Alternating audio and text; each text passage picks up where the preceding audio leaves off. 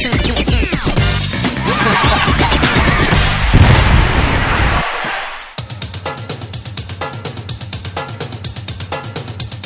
think America's Next Top Model is a tough competition? Think again. Five words Audi Fashion Festival Casting Party.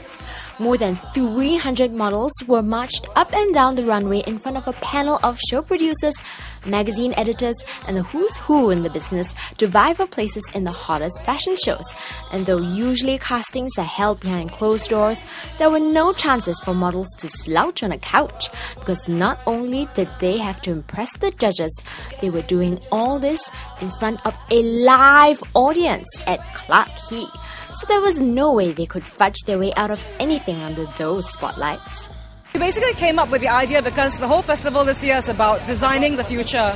So it was about new show producers, and you met a couple of them Jeremy, Jerome, Jolene, Douglas. Um, it was about new uh, show producers, new models, of course, so new faces on the catwalk and also uh, new photographers, which is why we had 200 photographers here taking photos tonight. So they're vying for a chance. One of them will get an all access pass to the Tented Orchard. So as for the models, of course, uh, I think a little bit of competition is good for them. You know, the standard was very, very high this year.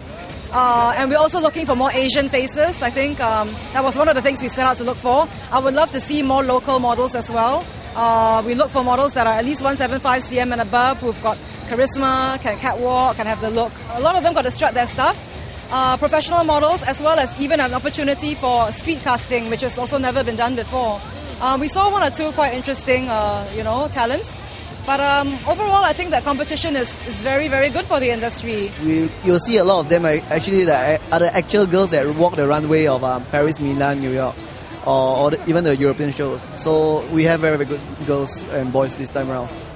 So, what did the models think of the first ever casting party? Not just big, but very long. It was three hours long, this casting. Tough? Um, the waiting part was tough. The actual doing was very short and very sweet, and it was over like, like that. And this is just the first round for them. It's just a general casting, and at the end of it, it's still the designers who will be picking the models. So we are basically shortlisting them because we don't want them to have a thousand people just before the show. Though the casting party eventually lasted close to four hours, the judges did manage to make it rather entertaining, especially for the female onlookers. I even made them take off the shirt because I know you were around, you know. So nice to meet. Yeah. I like. Oh, oh, Sarah. Okay, boys, take off your shirts. a normal guy comes in a shirt. You don't see the physique, and you don't see the body frame. You don't know how to fit them into an actual show. So when you see them, sometimes when they are topless, you see, okay, they have tattoos and this and that. So maybe not very suitable for another show. And maybe sometimes when you take off the shirt, you see that uh, one shoulder is high and one shoulder is low. So not very suitable, although they look good.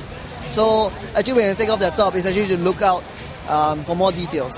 It's not just to benefit people like me. um, along the way, it does benefit you guys, but uh, definitely it's a professional decision to keep them topless. Yep, nobody said the modeling life was easy, but the models still braved through it because five faces were being chosen to front the Audi Fashion Festival.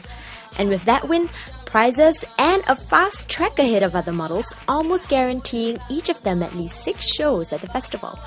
In the end, five were chosen Paula Verhoeven, Natalia Costa, Natasha Bendurina, Tatiana Krasikova, and one male model, Simon Tam, a Taylor Lautner lookalike. So why were they among the chosen? They were, I mean, they were international uh, catwalk height. They were tall. They had charisma. They were fantastic. I think we were looking for the X factor. You know, the model that when she walked out or he walked out, you know, the crowd went crazy. You know, there was like applause, like cheering, and you could see that. Well, they certainly did. Meanwhile, keep watching, cause we managed to snag some up close and personal time with three of the hotties.